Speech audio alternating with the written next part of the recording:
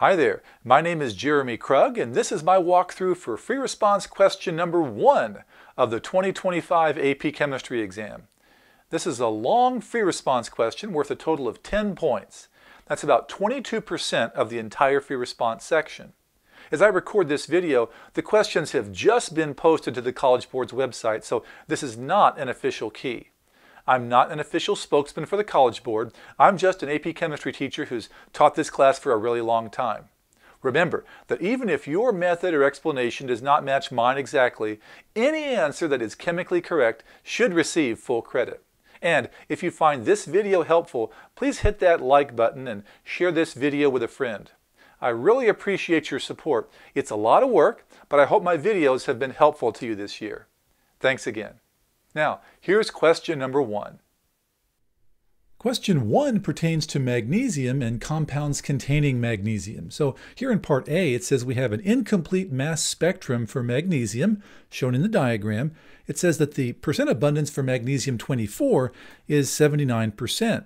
The percent abundances of the other two natural isotopes of magnesium, magnesium 25 and 26, are approximately equal. And it tells us to complete the mass spectrum in part A by drawing thick lines in the appropriate locations to represent the percent abundance of magnesium 25 and magnesium 26.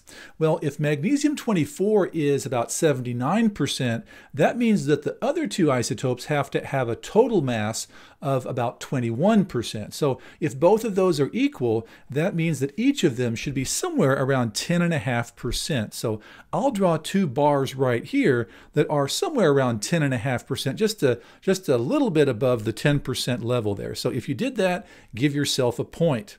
Now, part two in A here says describe the difference in atomic structure that accounts for the difference in mass between magnesium 25 and magnesium 26.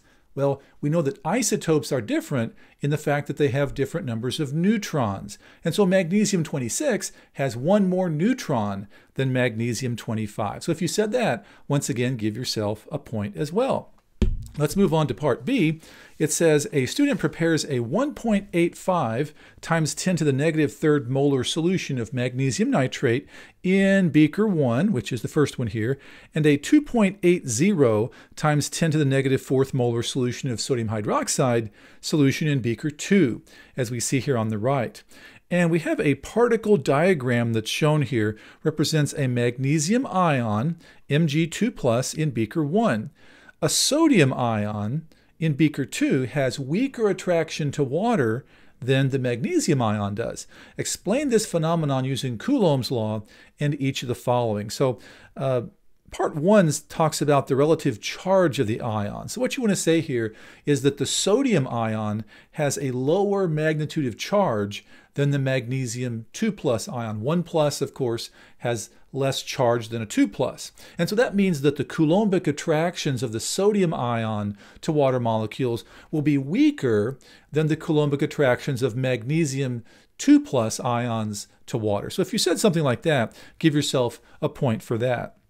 The next part here, part two, talks about the relative radii of the ions. Well, we have to think about this in terms, of course, the relative atomic radii of those two ions. So magnesium 2 plus has a smaller ionic radius than sodium plus.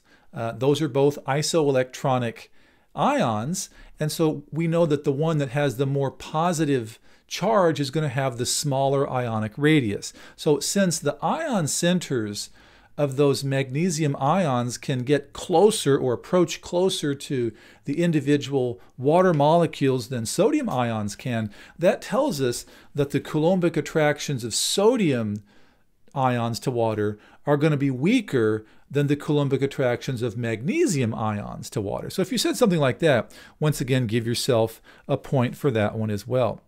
Now, moving on to part C, it tells us just to calculate the pH of the solution in beaker 2.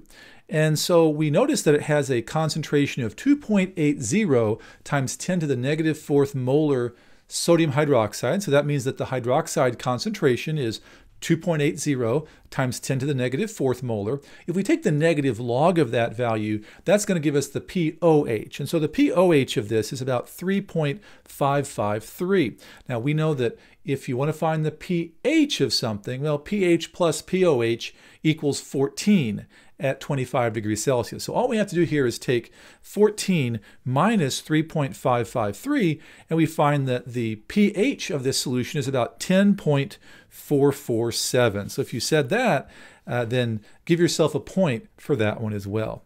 Now, moving on to part D, we have two solutions. One of these involves magnesium. In fact, this seems to be the same solutions that we had before, and we're just going to mix these together. It says the student combines 35 0.00 milliliters of 1.85 times 10 to the negative third magnesium nitrate solution with 50 milliliters of 2.80 times 10 to the negative fourth molar sodium hydroxide solution, as we see in the diagram.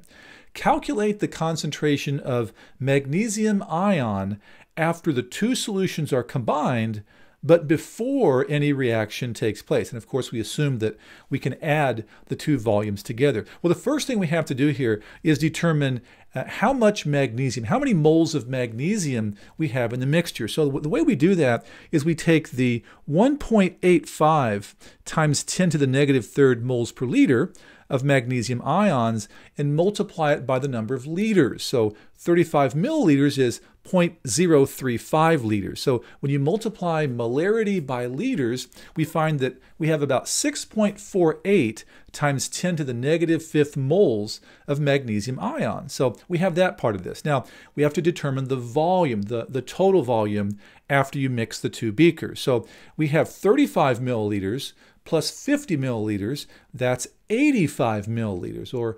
0.08500 liters. So to find the molarity, we have to take the moles of magnesium that we just calculated and divide that by 0.08500 liters.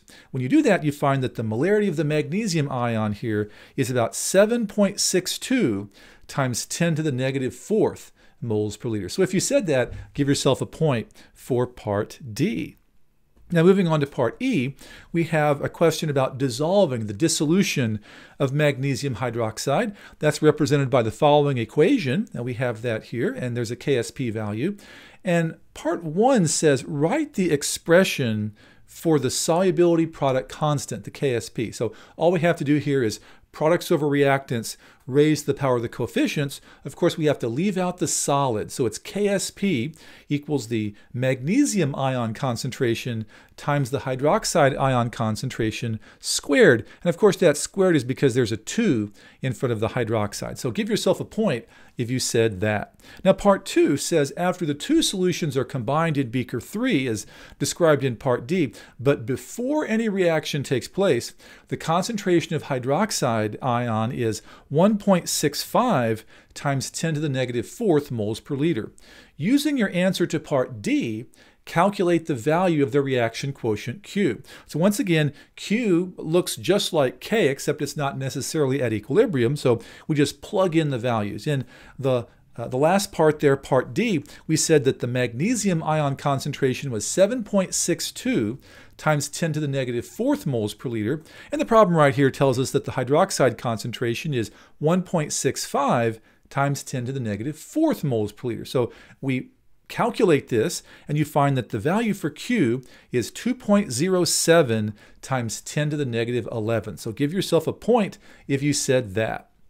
Now, the next part, part three, says using the reaction quotient, that's what we just calculated, predict whether a precipitate should form as the mixture in beaker three approaches equilibrium and justify your answer. Well, we have to compare Q versus K. So we just figured out what Q was, and K is given to us up here in the problem. It's 5.61 times 10 to the negative 12th. So it sure looks like Q is greater than K. And so if Q is greater than K, then that means yes, we are going to have a precipitate form. So if you gave the correct judgment and answer there, give yourself a point for part E. Now, lastly, we have part F. It says in a separate experiment, the student adds nitric acid, HNO3, to decrease the pH of a saturated solution containing some undissolved magnesium hydroxide solid. Does the amount of undissolved magnesium hydroxide solid increase, decrease, or remain the same as the nitric acid is added? And justify your answer. Well, we have to think about this in terms of Le Chatelier's principle. So here's that equation again for the dissolution of magnesium hydroxide in aqueous solution. Now, if we are decreasing the pH, that essentially means that we are getting rid, or I should say, we are removing some of the hydroxide ions. And so that's the effect of decreasing the pH on this particular reaction. So if we decrease the concentration of hydroxide, what is that going to do to the reaction according to Le Chatelier's principle? Well, we know that it's going to shift the reaction toward the product. So that means that we're going to increase the amount of products. We're going to have more magnesium and more hydroxide uh, formed in the in the process. And that's going to only be able to happen by causing a decrease in the amount of undissolved magnesium hydroxide. So what you would see is some of that magnesium hydroxide solid would dissolve. And so that's the answer. It's going to cause a decrease. Uh, if you want to talk about this in terms of Q, we know that as the hydroxide ions decrease, the value of Q also decreases, and that means the reaction will produce more products at the expense of magnesium hydroxide so that Q can be equal to K again. So that is your answer for part F. So that is question one. So how'd you do?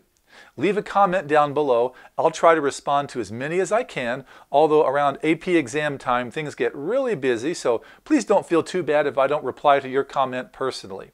And don't forget to watch my walkthrough videos for all the other 2025 free response questions. The official answer keys will be posted to AP Central sometime in late summer 2025. Thanks for watching. All the best in your academic pursuits, and I'll see you soon.